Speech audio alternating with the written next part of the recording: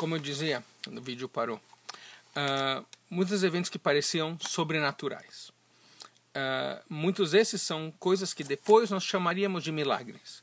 O Talmud, de fato, está dizendo, né, ao fazer essa jogada com a palavra uh, uh, Kadim e Kedem, né, do, do oeste, do leste e, e, e antigo, está dizendo que, na verdade, esses milagres são de fato parte da natureza. Uma pessoa que expressou essa visão da maneira mais forte, mais relevante, foi o grande filósofo Benedito Baruch Spinoza, que eu tive a sorte, inclusive, junto com a Denise e com a Raquel, a bebê, de visitar o túmulo dele em uh, Haia, The Hague, em, em, em holandês. E ele está enterrado, diga-se passagem, no cemitério de uma igreja, porque ele foi excomungado. Basicamente por, por essas ideias né, que, ele, que ele tinha que, que, que os milagres são parte da natureza, que Deus é iminente, ele foi excomungado da comunidade judia de, de Amsterdã quando ele tinha só 23 anos de idade. Spinoza escreveu que as pessoas buscam prova de Deus nos milagres que Deus faz, quando Deus muda as leis da natureza.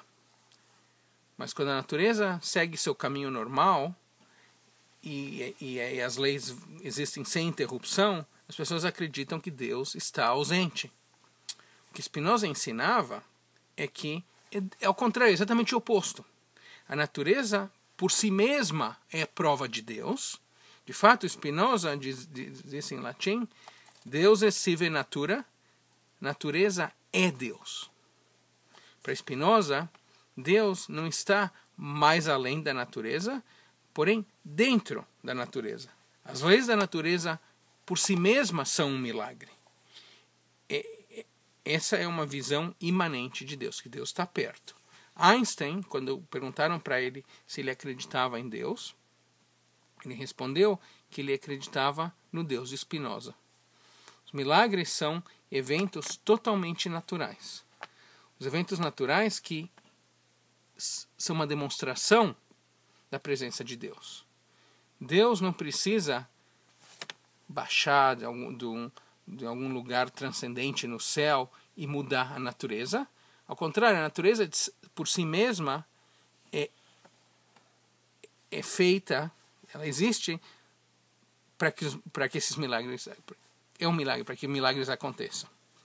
A palavra em hebraico milagre, diga de passagem, é nes. Nes também significa uma, uma bandeira, uma flâmula. Quando nós lemos nessa semana o, o abrir, né, partir do, do mar para que os israelitas pudessem passar, nós temos que ver nele essa flâmula, esse milagre que é a natureza. Shabbat Shalom. Vejo vocês nas nossas aulas durante a semana. Tudo de bom.